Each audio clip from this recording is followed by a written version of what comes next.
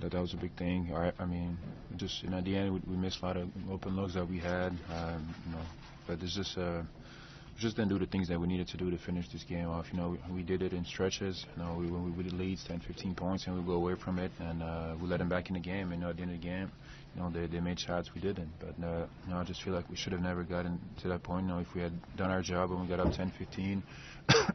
executed on both ends of the floor, we would have been able to build a big lead and finish the game off. But you know, credit to, to them. They, st- they, you know, they stuck with it. They made big shots at the end, uh, some tough ones as well, and uh, made big plays. And uh, you know, they deserved to win. We did it. Coach, you guys were really hurting them with the switches and the mismatches, and kind of went away from that. Why, do you think that happened? Uh, I mean, I, I don't know. Know, we'd have to, to look at it and see maybe if they did something different. Uh, but you know, I think a couple times on the end, we you know we did go to it. Uh, you know, and uh, you know we missed some shots.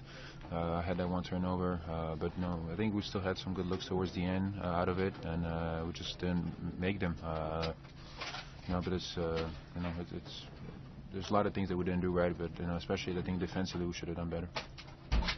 This one is it could have moved into Yeah. a tie for eight. You know, letting one get away where you're up 12 in the fourth. Yeah, especially disappointing because you know we, we had a big lead and we were playing. You know, uh, we started the game off great, and in the third quarter game we had a good lead, and uh, we, we could have taken control of the game and finished the game off uh, much easier. But you know we didn't. You know we let them back, and uh, they they took advantage of it. They they played well at the end, and they, they won the game. I mean. That's why it makes it much tougher. Know, obviously, you know, there's still a lot to be played. You know, but you know, in a game like this, when you have a big lead, especially us, that we did it so many times this season, uh, we have to take care of business. You know, we can't let big big leads slip away. Uh, you know, you're not going to have that many of those games, and when you have those, you have to you know, finish the uh, finish the game off.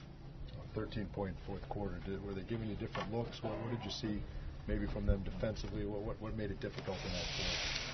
Uh, that's just you know we, we had some good looks. We had some good looks. Uh, we just didn't make them. Um, you know maybe you know some possessions maybe we could have done some better looks. Uh, I think s- some positions you know the, the clock was kind of getting uh, down, but we still had some time. We could have done but you know also that you know that, that hurt us obviously, but also in a couple of plays. Sorry, a couple of plays where uh, you know we, we get a stop and we don't get the box. The, we don't box out. We don't get the rebound and get the two points on a putback, and uh, so.